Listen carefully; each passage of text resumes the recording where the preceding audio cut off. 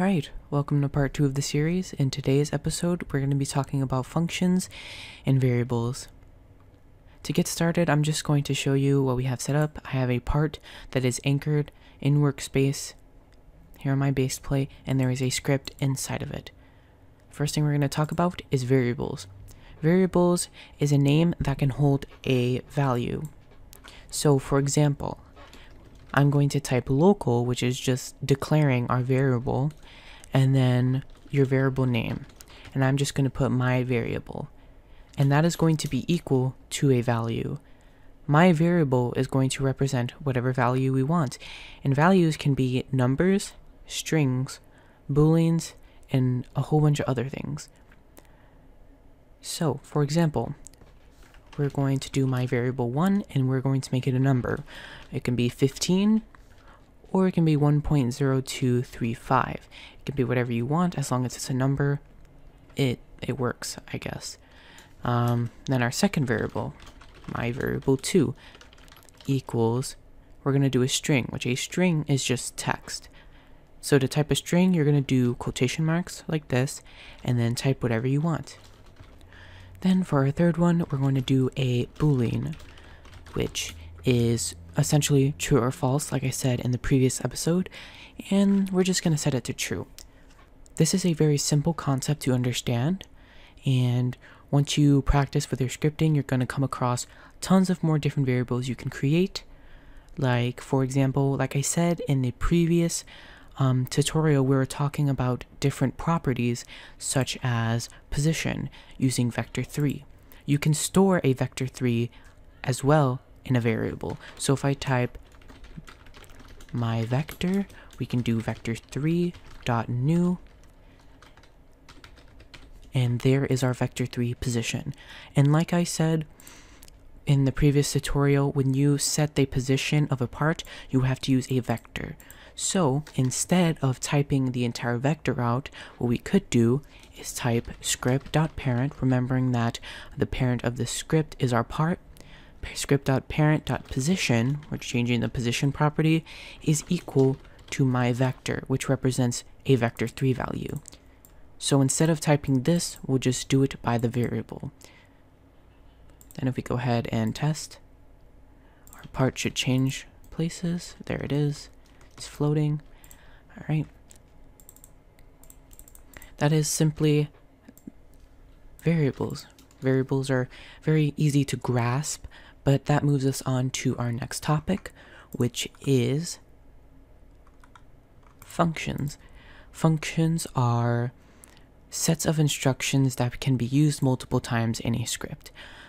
Or I guess you could say it's like a, a, block of code that you can run over and over again by just calling the name of the function. So to declare a function, we're going to type local function and then the name of your function. And here is our function. As you can see, there's a little arrow here. This is new to the script editor, I think. I'm pretty sure, but it'll allow you to open and close functions if you ever need to do so. But what we can do in this is, like we just did, we can set the position of our part, and we can set a vector 3. I'm going to use the same position I used, but if we go and run this script, nothing's going to happen. As you can see, our part is still in the same position. And the reason for that is that this function is declared and we've written what the function will do, but we haven't called it. And essentially to run a function, you basically can copy this and type it again. Or you can just type it out. You type the name of your function, it'll show you this here. And then you put your parentheses and that'll call the function when the script runs. There you go. Now the script has run and this part is now in its location. You might be wondering what's the point of using a function. Essentially, it just helps you with larger pieces of code. This line right here is very simple, and this is a very simple function. So it wouldn't be an issue if we copied it and kept doing it, I guess, if we needed to for some reason. But if we had other things, such as changing the brick color like we did in the previous episode. Color dot new bright orange. If we had multiple things, all we had to do was just call this function instead of typing each of these every single time. But then again, that doesn't make any sense because in this script or in this function, we're just changing the part. And if we change it once, we don't need to change it again. But that's where parameters come in. Function parameters go in between these parentheses here. So we can type out a name for a parameter, such as part. And what part is going to do is it's going to represent what part we pick. This does not matter. Some functions or events, which we'll learn about in a future episode, will have pre-set parameters that you have to put in or you can put in. But for just a regular function, you can add as many parameters as you want and they'll have whatever name you want. So to set what this part represents, because this is essentially a variable. So let's just, to make this easier, I'll put my part. This will represent my part, but to set this variable, when we call the function inside the parentheses here, we have to declare what this parameter represents. So what we're going to do is type script dot parent.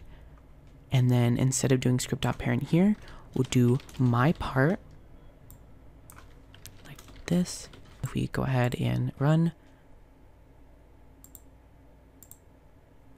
let me check the output.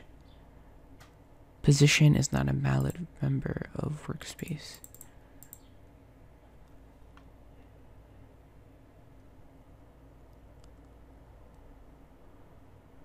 Oh, so I forgot to remove that position or that parent, so it was doing the parent of part, which is workspace. That is how you debug your script as well. There we go. Now our part is orange and it's floating in the middle of the world. Alright. Next we have returning values.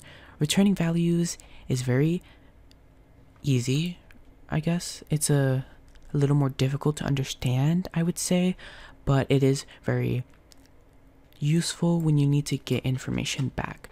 So, so for our function, let's say we wanted to figure out the position of a part. So let's say position check. That'll be our function name.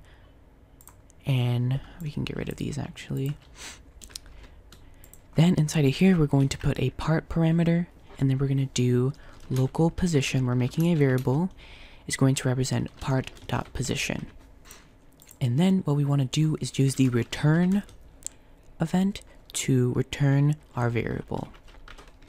And what that will do is when we call our function, we're going to call it in a variable so that the variable will represent the position. So to do that, we're going to type local result equals position check script dot parent. So we're calling this function and making sure our parameter represents our part.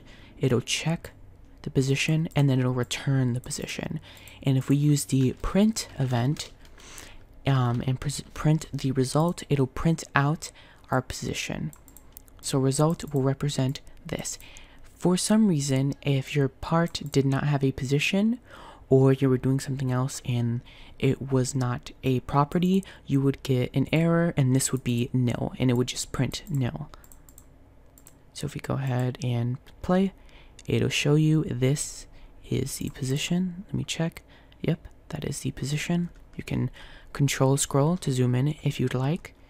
There you go. The print event the print event is very helpful when you're trying to debug your script. So, for example, if I did workspace, which represents our game.workspace, or you can type workspace with a lowercase w to access workspace directly, or just game.workspace works fine as well. So, if we do game.workspace.position, which is not a thing, and we press run, we will get an error saying position is not a valid member of workspace.